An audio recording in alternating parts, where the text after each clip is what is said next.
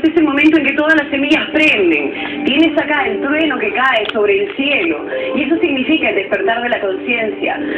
Veces uno medio que dice, ay, pero hoy día tú me has dicho tal cosa, me están criticando. Pero este es el momento de reconocer que atrás de toda crítica hay buenas ideas. Y es el tiempo de trabajar sobre esas ideas. No te resientas si tus padres o tus amigos te están diciendo, oye, mejor cambia eso, sería bueno que implementes tal cosa, porque este es el tiempo en que esos detalles esas visiones que los demás ven en ti te sirven, aunque sean críticas que tú puedas decir, de pronto son críticas malintencionadas, pero no hay crítica malintencionada que pueda afectar un corazón seguro de quién es y seguro de lo que quiere. Vámonos con el signo de Géminis, y entonces para Géminis dice lo siguiente. Atención Géminis, tienes el cielo sobre la montaña. El cielo sobre la montaña nos da la imagen del pensamiento y la idea, de la creación y la meditación. Y vemos acá que un círculo rodea la imagen de quien sabe meditar y proyectar su mente y sus pensamientos hacia el futuro. Dice, cada vez que te levantes en este momento, Géminis, has de visualizar aquello que quieres con el corazón. Definitivamente, esa visión, el imaginarte que ya está pasando, que está pasando bien y que está pasando con alegría, con gratificación, decir estos esfuerzos valieron la pena.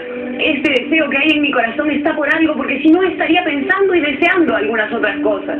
Tiempo Géminis entonces de hacerte caso y de visionar hacia el futuro. Detente un momento, cierra los ojos y piensa, piensa en eso que tú quieres que esté realizado en realización. Imagínate cómo está realizado, imagínate que ya estás celebrando la realización de aquello. Vámonos con el signo de cáncer. Para el signo de cáncer ahora.